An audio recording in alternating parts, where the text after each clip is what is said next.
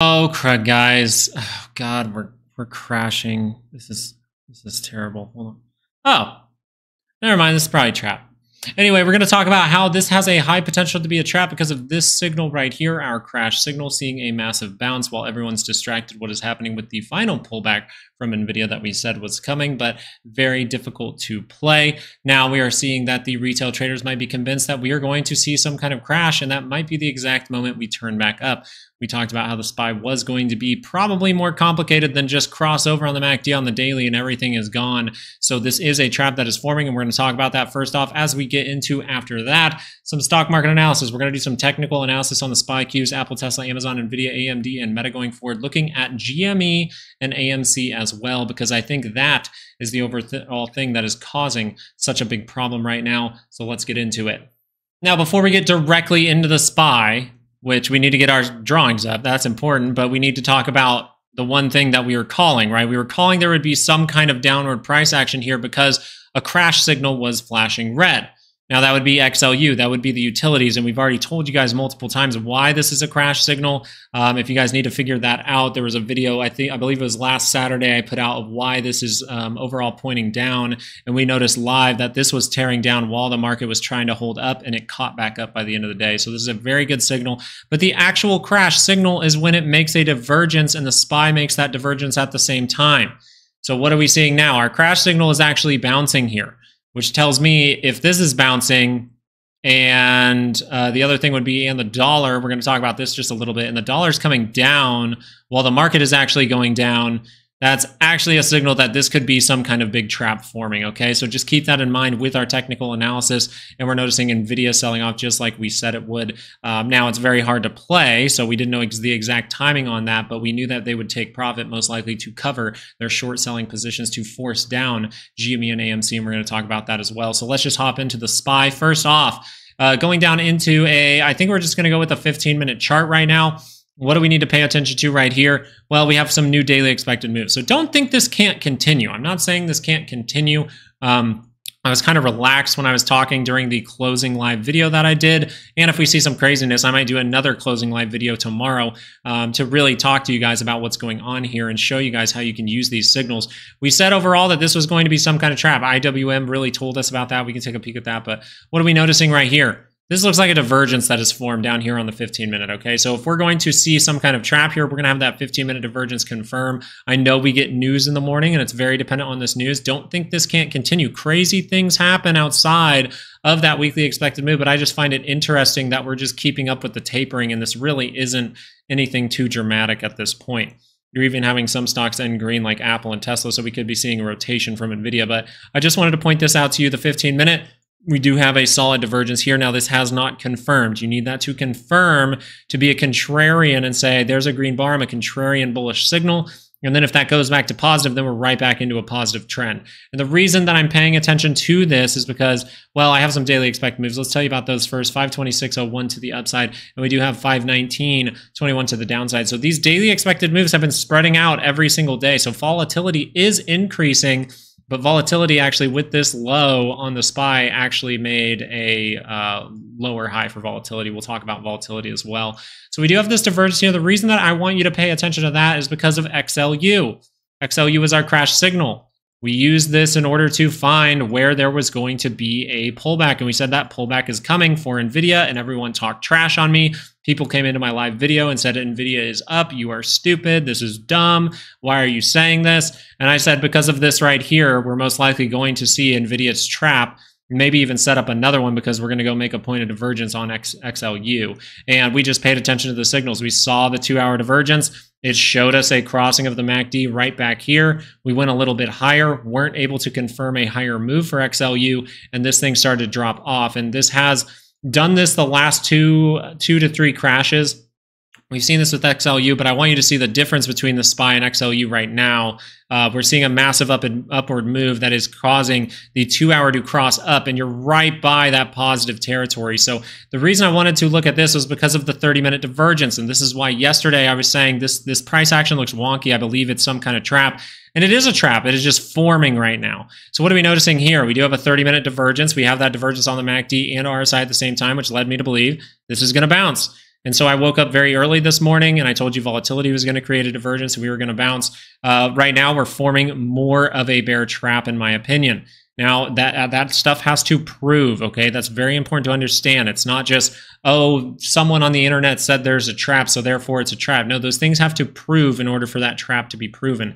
And at this point, what are we noticing about XLU? This is a signal to pay attention to. Why is XLU? Why is utilities seeing this big run up again? And the SPY has been following utilities and the SPY is not doing that as of today. And we'll talk about the dollar of why this is most likely insiders actually buying the dip, suppressing it to make that call side cheaper for them because they need to make some money to cover uh, GME and AMC positions. So pay attention to XLU. The reason you have to pay attention to it, I just showed you the two hour curled up. If the two hour is able to curl up for the SPY, it's a little bit deeper into negative territory down here, but it's still close enough that just like four hours of positive price action, you're going to see a big move up. So we do have the opportunity with some news possibly to gap above our daily expected move and see a rapid move higher. And then I would very much so, I'd really be on your toes for any kind of rollover on the two hour up in this area. We'll be talking about that live. Now, before we get into the Qs, it's going to be a similar thing, um, but we want to point out the daily expected moves. That would be 455.37 to the upside, and we do have 447.73 to the downside. So if we do see downside early on, this is going to be a great support. You have two expected moves. You have the monthly and the daily, but let's not think that this can't continue. Remember, this yellow line here is the monthly expected move for the month of May, and we have a 68% chance to land back in that zone. Now, the other side to that is we have a 68% chance to land somewhere in here. So I believe that the best area for tomorrow to land would actually be here based on the percentages. Uh, but if this two hour is able to curl up into positive territory, look where it is. It's right by the center line. This is what we call a pullback. And then if that curls back up, that is when the momentum indicator is telling you there is more upside left in this overall move. So we'll be paying attention to this.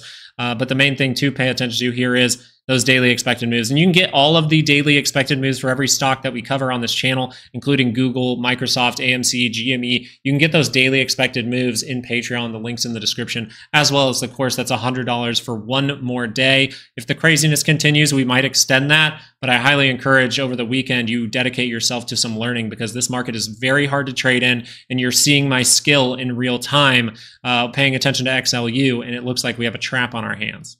Apple, those daily expected moves, right? We're going to pay attention to those over on Patreon. But what are we noticing here? The MACD for the two hour is still positive, is still green in positive territory. So you're still in a positive trend. But there is weakness here, okay? So in order for us to get bullish here, we really need to see some positivity. And I'm going to go into a 30 minute because this right here is a triple divergence, but um, you're still within positive territory. You were never able to rule negative. So going into tomorrow, you still have to say the edge is to the bulls for Apple. And this is starting to look like it may either you know cross down and go negative or we may see some kind of pullback but if that does not go negative and that crosses back up on the 30 minute positive territory if that crosses up at any time you can see upside. Now, we want to be careful in these areas because that two hour divergence we've talked about for a few days can form up here. We'll mention it again live because plenty of people are asking about Apple here. But what does Apple like to do? Well, it likes to burst through a zone, touch in it, touch in it, touch in it. Notice we're still getting those higher lows. And then maybe we see some kind of actual breakout here. We'll pay attention. This might be reliant on the data. And this might be a stock that they're rotating into from NVIDIA right? We know that the dollar is dropping off while the market's dropping off. So that should mean that the insiders are actually buying something or not going cash anymore. So they're buying something. Are they going into TLT for a crash? We'll have to see. But overall, I would say maybe there's like, why is Apple's remaining at these higher levels if we're experiencing an actual stock market crash? And I believe they're telling you the wrong info. We'll get into that when we get to the yields. Tesla was very complicated, and we've talked about how Tesla is a very complicated trade. It's a very difficult one to trade right now because you're not getting solid confirmations. You got one dip down here that said, hey, I might go negative, then you flip right back to positive. So as of right now, there is an edge to the bulls in the 30 minute chart here because you're in positive territory and a positive trend. And you notice this wick up is very important here. Tesla, another one that is holding up at lower levels. I wonder if we're rotating into that. But at this moment, what do we notice? We haven't curled over on this MACD. So they're not curling over on this MACD. Now, if that happens first thing in the morning, okay, negative trend. We just want to pay attention if that's rotating up at any time. Remember, we trade like water on this channel. We are always willing to flip flop based on these signals. Now, let me just peek over at a two hour and you'll notice this. This is why I think Tesla has a higher probability of going up. The 30 minute is in positive territory and it's green on the histogram for the MACD. And what are we noticing down here? RSI above 50 for the two hour, and the uh, MACD is crossed on the two hour and in positive territory. So that is a pretty good confirmation that there's going to be some kind of upside here. I'd really be paying attention to my daily expected moves tomorrow. Watch out for any kind of pop and then that just rolls right back over tomorrow because we're going to have to be careful. But this could extend if this is going to be some kind of trap. This could extend for a few days. Amazon has been a rough one. This one was ripped away, and this is one that we talked about live a, as a risk management. This is why you always have to manage your risk. If you take the play on the 30 minute, first of all, we go into shorter time frames on the uh, course in the course in the description to show you how to get out of a trade when you know something bad can happen. And overall, we're just going to do it on the 30. But no, in the course, it's a little different than this. But right here, if you're looking at a 30 minute chart, this bar right here at the end of yesterday told you there's no reason for upside here right? You're getting a crossing down of the MACD really close to the center line. That should convince you, hey, this thing can go negative, and that's exactly what happened. This is where you need to manage that risk. Don't get excited and think everything has to go straight up forever. There will be pullbacks, but this 30 minute needed to reject that and remain positive. It crossed over, your risk managed. Now, if this would have turned back around, you just would have wanted to see the MACD turn back up. Then you can be right back in that move. It's perfectly fine. That's how we learn about these indicators, okay? Right here, you were told, hey, there is a negative move possible here. I'm really close to the center line, and look at that negative move come in. We still have divergences down here, right, all the way across the way, uh, but they're starting to not look the best, right? This one's a little bit further away. It's still kind of close, but a little further away from the center line. You do have it down here on the RSI. You can see it down there on the RSI. You can see those flat divergences here and an upward divergence between this point right over here. So I wanted to pull up a two hour. The two hour here is what I'm overall paying attention to because this is divergence on a two hour. And if we see a bounce early on in the morning, what if this two hour confirms? That actually could flip over the daily for a second. So we could see an extended move from Amazon. But I still think, based on the two hour chart, that we're probably going to see a lower high here. Now, that is a probably. We will keep an eye on this to make sure we know if that is rolling over. But just note here, if the two hour goes positive, just pay attention if that curls over, right? The last time we just showed you the 30 minute, how you could have gotten out and not been a part of any of this. And the, and the signals were telling you that. Just let the signals tell you what to do. If this crosses up, we have a good shot to go positive, but this is a lot of work to go all the way back up to this high. So it's either going to be some kind of extended move or we're just going to get a lower high. And I'm really leaning towards that right now. And I'll be paying attention to Amazon managing my risk if I want to take a play on this. I'm just being very careful to upside moves as XLU might be creating that divergence soon. So the risk says, hey, there's a crash signal forming. Why would I try to buy stocks when a crash signal is forming? Now we get to talk about NVIDIA, and I'm so glad to finally see this play out. You know, it could have taken even longer. This could have just continued for a longer time, but it ended up seeing some weakness here. And this is the weakness we were talking about at the beginning of the week. We said, yes, the craziness can continue. Yes, the craziness can continue. But just know this is the opposite of AMC and GME. This is the real meme stock.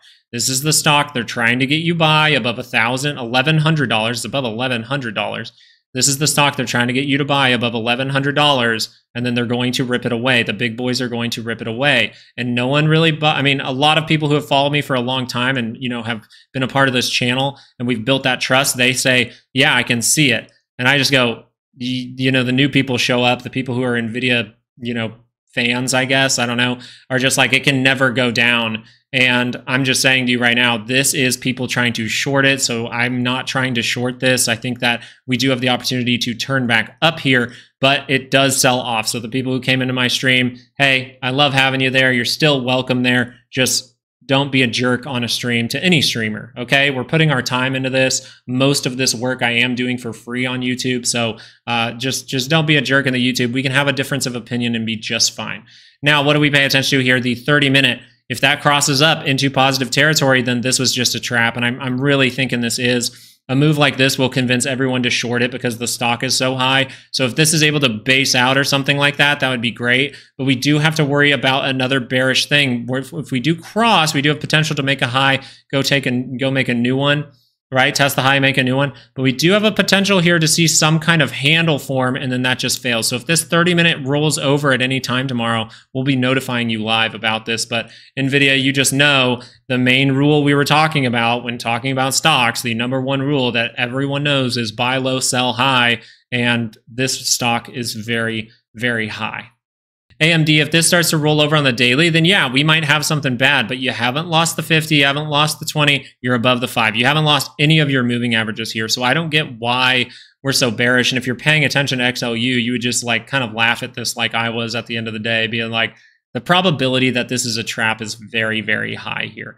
But if AMD, if I'm wrong, and AMD is going to roll over and this isn't some kind of trap, or it's maybe a more prolonged trap, we're going to see this roll over negative territory. Now, that's a bad thing because you would test the low, maybe, maybe go make a new one unless you're able to hold up at this zone. So we'll pay attention to this.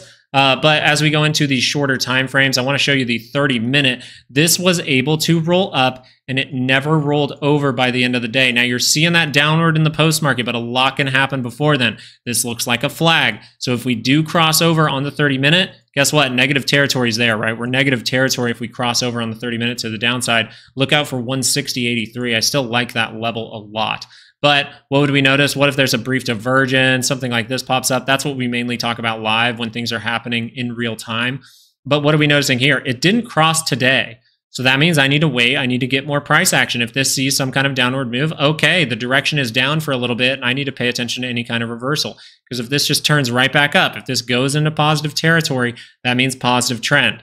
And I think what we're going to see here is the 30 minute might look wonky down here, but I think we might see a little divergence pop up right in this area. And then that would give you a 30 minute divergence here. And the funny thing about getting a 30 minute divergence up in this area would be you would create a two hour divergence maybe as well. So if this is going to take a little bit more time, you might even create a two hour small triple divergence for AMD. And this is one that I'm going to take a play on live. I'm going to show you the exact times that I'm entering these trades if this does form. So AMD, what am I looking at here? Well, the two hour is still in positive trend. The 30 minute is right near the center line. So there's nothing really that bearish happening here. 30 minute, you could say, is 50 50 going into the morning, but the two hour, you're still in, in uh, bullish context here. You're still in a positive trend, and this is beating down to the center line. If that curls up, you know, hey, that's a big move, but watch out for divergence because that could be very, very bad. And you already have one divergence, by the way. That would be triple divergence, right? We already have one right here. So looks like some weakness coming for AMD, but it just might not be right now. Meta did something big, and this is a little bit different, but we're going down into the point where a lot of traps have been made. Okay, we see a trap, we see a trap, we see we go to the upside, we get a trap, we go to the downside, we get a trap. We say, oh, we're going bullish. Nope, it's a trap. We go to the downside, we get a trap. We go to the upside, we get a trap. Now we're in the same area for a trap. So if this is going to be different, I would say we need to actually close below 463.76. I think this level right here, very good to pay attention to. Um, and one thing is, Meta is bearish on the uh, two hour just a little bit. It's right by the center line. So if this just wants to curl up, we could see that extended move, and then we'd want to watch out for any kind of sell signal that we see up here, okay? Any kind of bearish signals.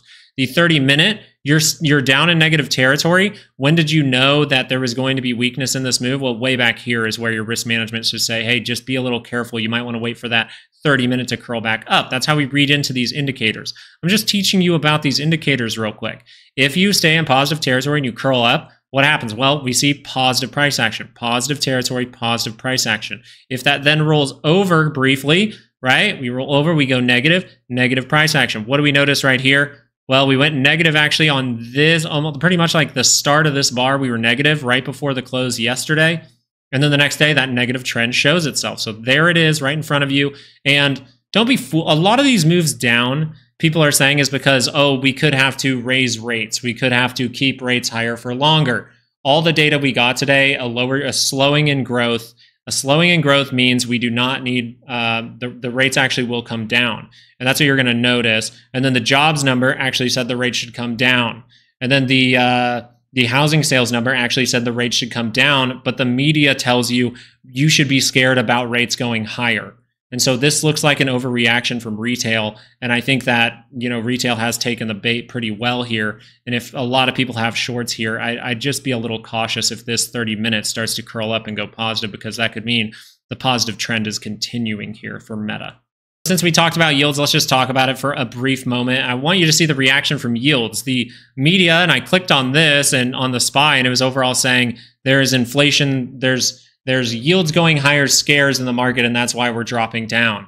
And I said all, and I said this live. I said all the data is saying this should drop off, and we said that before the market opened, before we got the data. I was like, if it comes in at consensus for the GDP, the 10-year yield will drop off. And that's exactly what ended up happening. We got more data and it, all of it pointed towards yields dropping off. But the media tells you that the data said, I don't know if they said the data said that we should have higher yields. I don't know if someone said something, but uh, just know the data is telling you that the yield should come down. And that's exactly what happened today. Don't be fooled. So what's that doing for TLT? Well, we're seeing a bounce, right? We're seeing a pretty good bounce here. And uh, this hasn't curled up on the two hour, but TLT, the smart money, going up the spy going down. Like even though this is heading down this already headed down for a while. The spy could catch up to this and then bounce right? We could still be forming that trap on the spy. But what are we noticing about tlt well on the two hour if we curl up and we get into positive territory we might see us break through this channel and those yields might come down dramatically. So something bad might be around the corner to cause uh, some kind of dropping of the yields be necessary right away. I don't know if it's bank liquidity because of all the GME AMC thing. I don't know if it's a hedge fund liquidity. I don't it could be anything at this point, but most likely it's going to be bank failures that lead into people rushing towards TLT and we have to drop off these rates. So we'll see if that plays out. We're going to keep an ear to the floor on that one, but let's go look at the dollar and talk about this for a second. So everyone telling you Everything's horrible. It's all selling off. The SPY is dropping. That's weird. The dollar should be up here then. Why is the dollar down here? Well, over here we mentioned how the dollar was going up while the market was going up, and that is a signal that insiders are selling. And then this is the dollar going down while the market is going down. Now, this could be for a few reasons. It could be maybe they are, you know, buying stocks, right? They maybe they are buying while the overall SPY is selling off. That is the indication here that this could be some kind of a trap.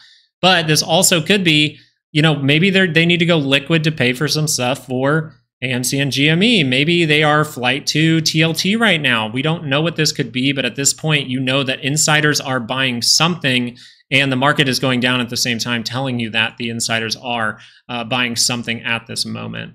So, what are we going to talk about going forward? We're still getting into GME and AMC at the end here, but this is the signal that I posted this morning, and this is what I said in my video last night. I just overall said um, I, I, we only had this amount of price action. I said I need more, but I think we're going to create a divergence up here, and we're going to see volatility drop off, and that's exactly what ended up happening. Now the market went lower but the volatility did not end up higher. So that is something to pay attention to. And notice it's right by the center line. So if tomorrow we get some news, maybe this does go up a little bit higher and then that starts to fade, we'll pay attention to this because we could see volatility roll over. And then you would say, yeah, this, this is a trap at that point. But it's very dependent on the data. The bear trap could be still being formed. And if utilities rolls over, maybe it's not even a trap. So we're still open to every scenario. But this is the mo- most likely thing right now is that this is a bear trap. Okay, now I thought it was important to see all that before we talk about these right here. And what are we noticing? Well, they're really being pushed down. They're really being pushed down. And we told you that they were most likely going to sell stocks in order to be liquid to force these even further down. The more that these go down and we see other little ones popping and popping and popping, the more I'm convinced that these are the big guys because why are they trying to suppress it so much? So what are we seeing from AMC? Let's just look at it from a technical st technical standpoint. You notice we lose 437, we get it as resistance, resistance, resistance like three or four times, and we're turning back down. Now this is selling off but we'll have to see what happens going forward. Okay, we have to see what happens going forward. But you have the 15 minute, it's close to the center line, but it's just not the best look, right? Is not very close to the center line. And I'm going to tell you right now, GME looks completely different. GME looks better than AMC. Uh, but we need to talk about this because first of all, you need this to go positive, right? If you're if you're thinking this has to bounce with some kind of divergence down here, that's fine. You're getting tapering. I get it. But this here, you are still a contrarian bullish signal right here because you're still in negative territory. You're still in a negative trend. So all this has to do is keep rolling over until you actually get to positive territory. That's when you know that this stock is back in a bullish positive trend. And I wanted to point that out. We do have daily ranges uh, for AMC. And because those daily ranges are small, people are thinking like, no, the move has to be way bigger than that tomorrow. It doesn't. If it is going to see a short squeeze, that would be something unexpected. The area above the, the daily expected moves, above the weekly expected moves, any expected move, is a 32% chance to see something unexpected. So if you do see the short squeeze from AMC and GME, it will be something unexpected. It will be outside of the weekly and the daily expected moves. So popping over to GME, the reason I wanted to talk about this one, even starting off on a 15 minute, down here, you were a contrarian. This is a contrarian bullish signal. It is still bearish because it is in a negative trend. But that's where a contrarian would say, hey, I'm thinking about grabbing this. Okay, now it is positive. So GME is actually in a 15 minute positive trend. GME is in a 15 minute positive trend going into tomorrow. And that is kind of a huge deal because if this stock remains higher, they lose tons and tons of money. And I think that's why we're overall seeing a sell off, is because they have to pay for their borrowed shares. Now, the 30 minute as well, in positive territory, crossed up green bars. This is the momentum saying right now the momentum is positive and the momentum is up. Now that can change very quickly. That's why we trade like water. So if this rolls back down at any time, then that's not the moment.